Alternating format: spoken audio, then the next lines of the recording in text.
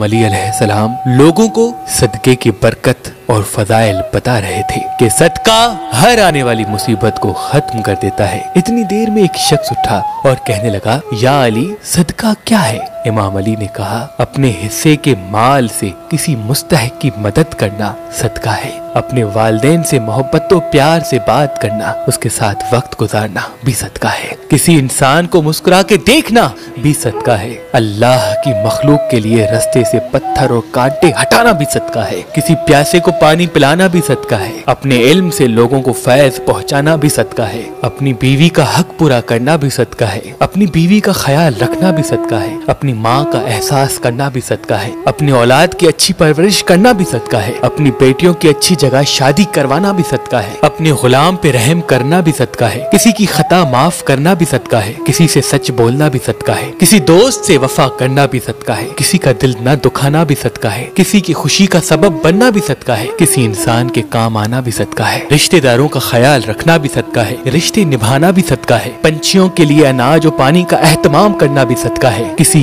यतीम के सर पे हाथ रखना भी सदका है। बगैर मतलब के किसी की मदद करना भी सदका है। इल्म हैसियत से अपने से कम लोगों को सीने से लगाना भी सदका है। ऐ इंसान, याद रखना, हर वो अमल सदका है, जिस अमल से तुम्हारे वजूद से अल्लाह की किसी भी मखलूक को कोई फ़ायदा पहुँचे। कोई